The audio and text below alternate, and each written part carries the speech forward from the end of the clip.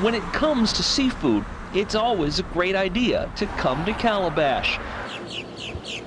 The Brunswick County town is known for its fresh fish, whether it's off the boat or on a plate.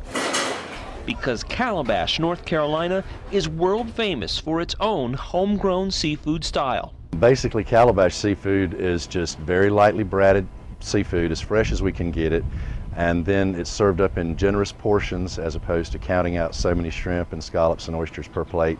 You just get a big plate full of it. It's more family style.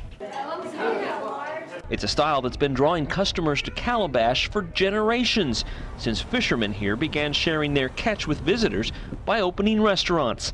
That, in turn, led to families of beachgoers making trips to this tiny town a vacation tradition. Years ago, it was the, the, the cheap prices and the generous portions, and um, Calabash was, you know, we are a little quaint getaway. It was like a family tradition. If you came on vacation at the beach, you would come here and, you know, for a meal or two at least.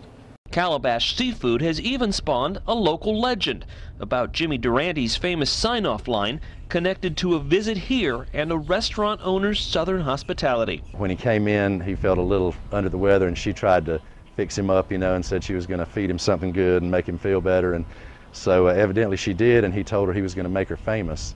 And so then we've heard that every night when he signed off, he would say, Good night, Miss Calabash, wherever you are. Whether that story is truth or fiction, the fact is that Calabash seafood has become so popular that restaurants in other places have tried to copy it.